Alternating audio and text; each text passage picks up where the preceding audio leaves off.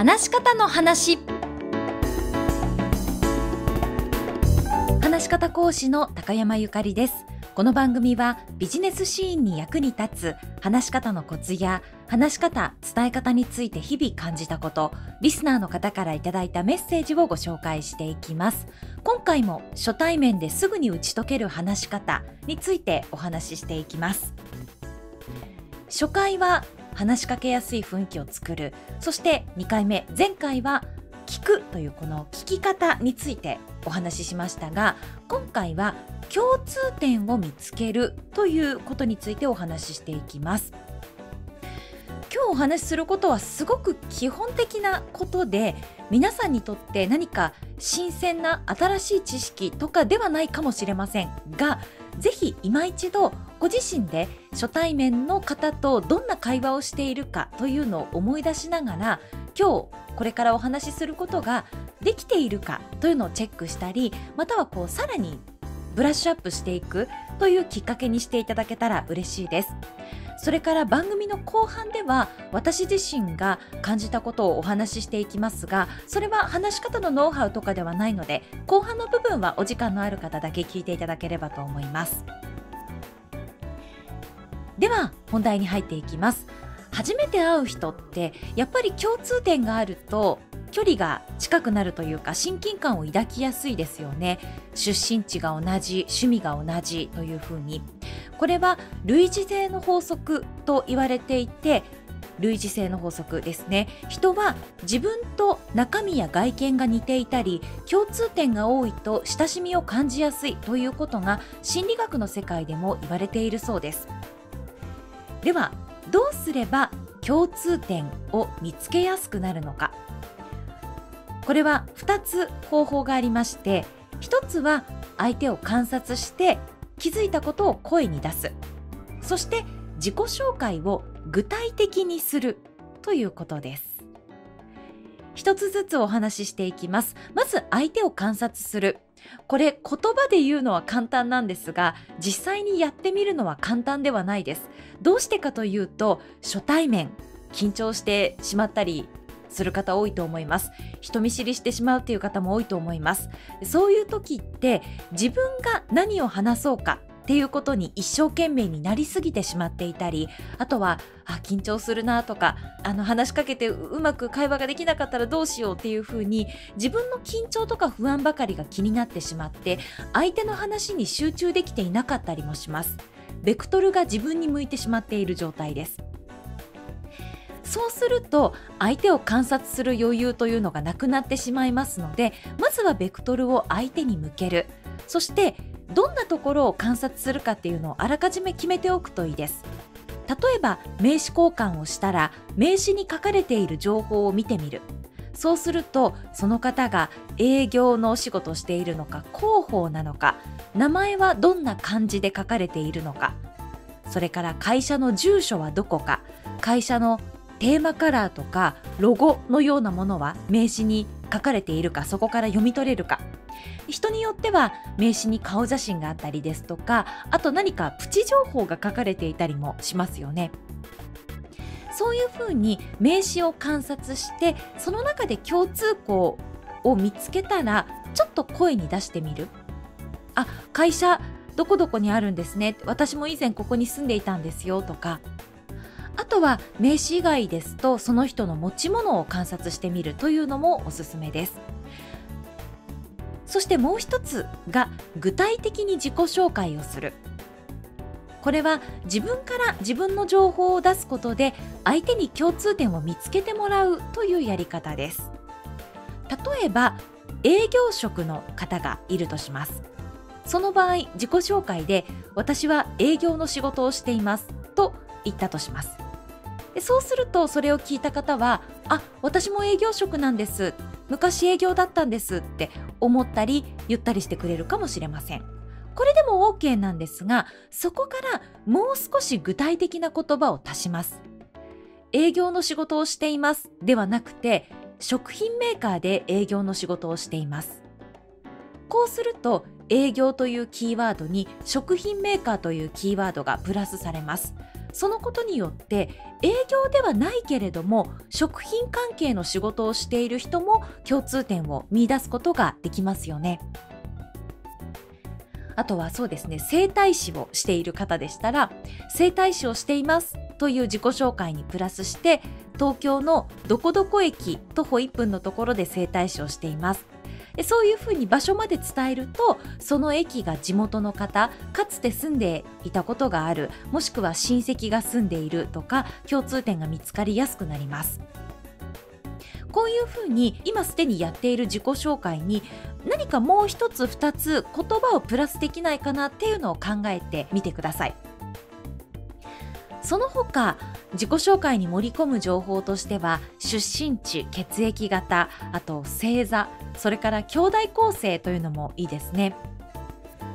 例えば私は3人兄弟の末っ子なんですが初めてお会いした相手が3人兄弟とおっしゃっていたらあうちも3人兄弟なんですって言います。で兄弟構成聞いたりします。何番目ですか？とかあ末っ子なんですね。同じです。とか。3人兄弟っていう共通点も距離が縮まるというか会話が弾みやすくなりますしそこからさらに末っ子とかあと男3兄弟みたいに構成が近かったりするともっと会話が弾みやすくなったりします。でそして覚えてもらいやすくもなります。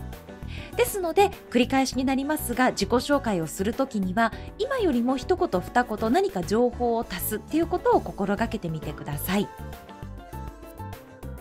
ではおさらいです。今回は初対面でも距離が縮まるには共通点を見つける。そのためにはまずは相手を観察して気づいたことを声に出す。そして自己紹介を具体的にすることで相手に自分との共通点を見つけてもらうという2つを心がけてみてください。というここまでが本日のメイントピックでしてここからは少し余談になります。初対面に関するお話なんですが話し方の知識とかではないので基本的には聞いていただかなくて大丈夫です。お時間がある時だけなんとなく聞き流してもらえたらと思います。今回初対面でも相手と打ち解けるというテーマでお話しすると決めた時に私自身の知り合いの中で初対面の印象が記憶に残っている方は誰かなっていうのを改めて思い出してみました。LINE の友達リストですとか SNS のつながりのリストを見てあこの人の初対面よく覚えているなこの人とはこういう会話をしたなどこどこで初めて会ったなというふうに初めて会った日のことを思い出せる方の名前をノートに書き出していってでどんなところが記憶に残ったかなっていうのを一人一人考えてみたんです。そこで分かったことがあります。それは初対面が記憶に残っている人は初対面で何かしら自分の心が動いたということ。そしてその心が動くという体験の中に尊敬とか憧れの気持ちが入っていたなっていうことでした。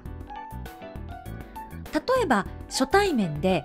この人はとにかく優しくて安心感をくれたなっていう人ですとか堂々とした佇まいで仕事ができそうなオーラを放っていたとか聞き上手だった。アイコンタクトの取り方があまりに素敵だった。ファッションセンスが光っていた。盛り上げ上手だった。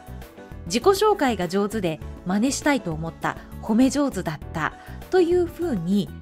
安心する心が躍るとか何らかの形で心が動くと同時に私もこうなりたいな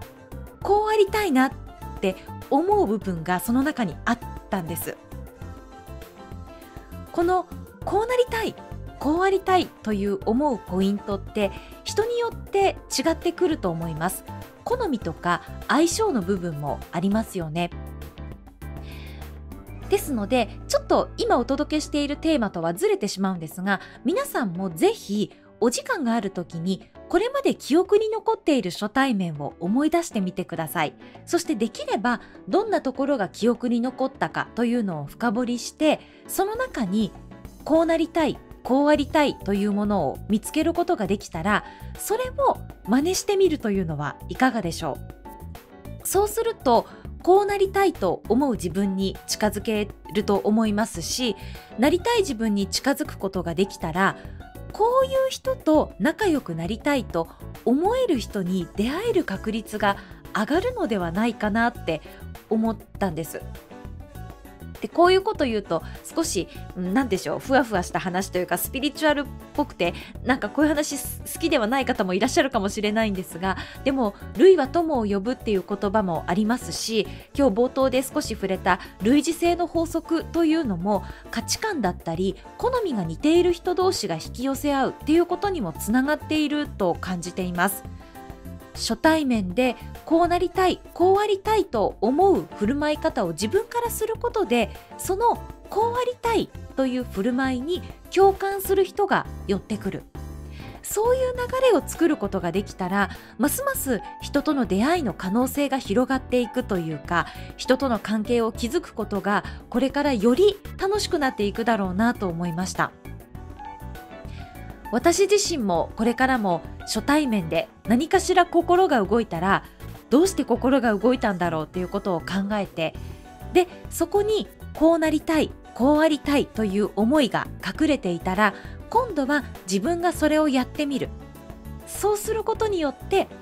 自分自身もワクワクしながらそして相手にもワクワクしていただけるようなそんな初対面を体験していきたいなと思いました。